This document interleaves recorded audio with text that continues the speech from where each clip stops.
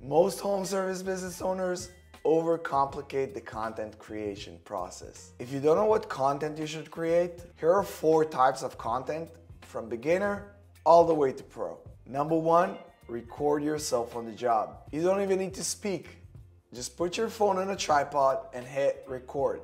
It's that simple. Number two, answer your customers' most common questions. You just need to speak directly to the camera, and if you can add visuals to it, then you'll be killing it.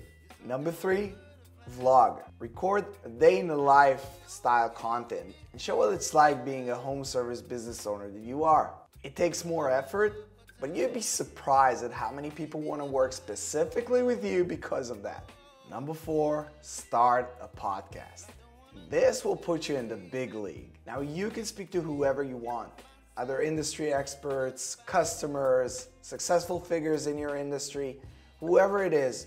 And there, you won't only be able to show your level of expertise, but you will also be able to tap into their network. And that's where value comes in.